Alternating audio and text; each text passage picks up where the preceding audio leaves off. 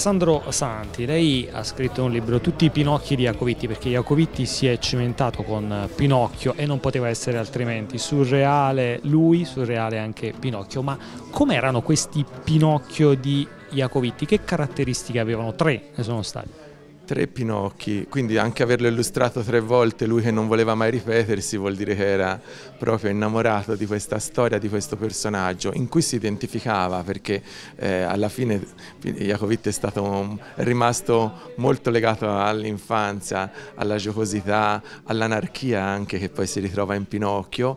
E non solo tra l'altro l'ha illustrato tre volte, ma l'ha poi riutilizzato in una ventina e più di occasioni per svariati scopi, anche pubblicità, francobolli, eccetera. Io mi sono divertito a rintracciare tutte le immagini di, di Pinocchio realizzate dai Covitti, anche quelle inedite, come questa che aveva realizzato per una marionetta. Ecco, lei eh, ha detto anche una cosa molto curiosa, fino al 1970 lui ha scritto la sua Yak Story, lei poi si è divertito a continuare questa Yak Story dagli anni 70 fino al 97 quando poi è venuto a mancare. Sì, indegnamente ma con tanto amore, erano due tavole che Jacovitti aveva fatto, la prima la seconda volta in cui racconta di sé, la prima era sempre con lo stesso stile di racconto, eh, proprio si chiama Pinocchio alla Jacovitti, anche proprio per capire quanto fosse legata la, la, sua vita a Pinocchio. Poi subito dopo realizza queste due tavole a colori che sono rimaste inedite fino a cinque anni fa e che grazie a Luca Boschi e Fiorenzo Grasso sono state trovate e pubblicate. Io ho scritto mh, questo mese nel, sul, sulla rivista Vitte e dintorni analizzando i riferimenti, la biografia di Iacovitti, spiegando magari alcune battute potevano rimanere, eh, c'era un per chi conosceva la, la vita c'erano anche dei, dei, doppi, dei, doppi, dei significati nascosti eh? e, e, poi indegnamente ho fatto una terza tavola in cui si racconta la sua vita dal 77 al 97.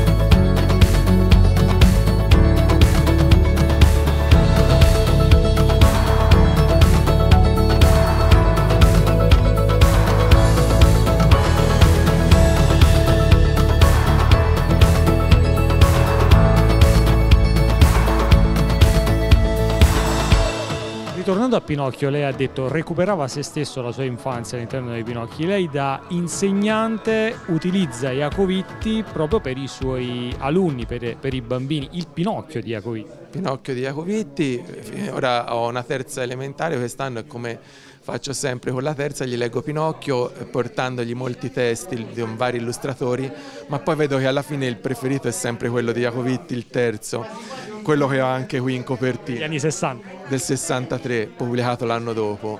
E quello eh, vedo che incredibilmente anche i bambini che hanno più diffidenza a disegnare cercano di copiarlo, sono disegni complessi, molto elaborati e invece loro eh, naturalmente entrano in questo mondo. Mi ricordo una volta perché faccio anche laboratori di fumetti e un bambino addirittura aveva sei anni, eh, fece un laboratorio sui personaggi di eh, Chip e Zagar e, e, mi disse, dice, ma nei fumetti si può fare anche questo, cioè rimase totalmente meravigliato che ci fossero fumetti non convenzionali.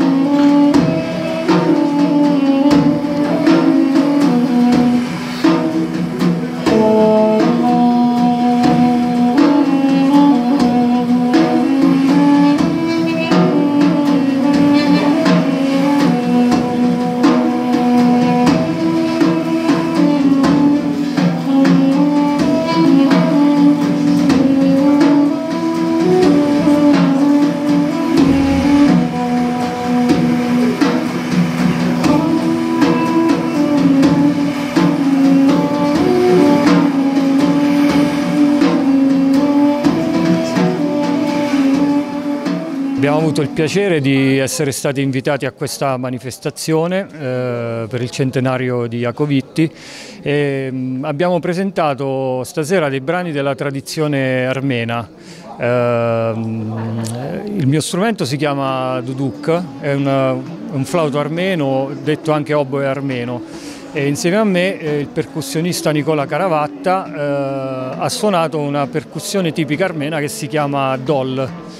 E in genere non, non, presentiamo questo repertorio perché è abbastanza di nicchia, ma stasera eh, c'era un pubblico interessante, quindi abbiamo voluto proporci in questo senso. Bene, è tutto. Queste puntate di Viaggio in Molise possono essere eh, riviste sul canale 11, sul canale 18 di Telemolise, ma anche eh, sul www.telemolise.com e sul canale YouTube di eh, Telemolise. Grazie per averci seguito, arrivederci.